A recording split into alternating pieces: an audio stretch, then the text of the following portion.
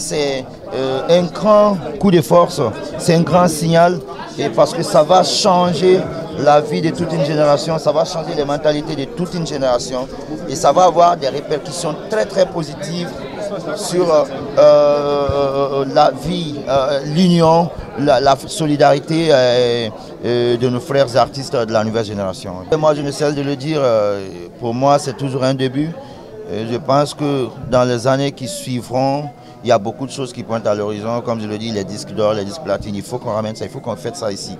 Mais pour l'instant, je suis en train de travailler sur euh, euh, un album euh, de Azaya, de Geli avec Kezit, mais aussi des épées qui vont sortir dans, dans quelques semaines.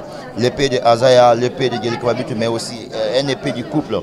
Donc soyez prêts à recevoir ces différents projets. Je me suis dit, la Guinée a prochainement a, désormais son mot à dire en Afrique de l'Ouest et c'était une victoire pour toute la musique guinéenne en général.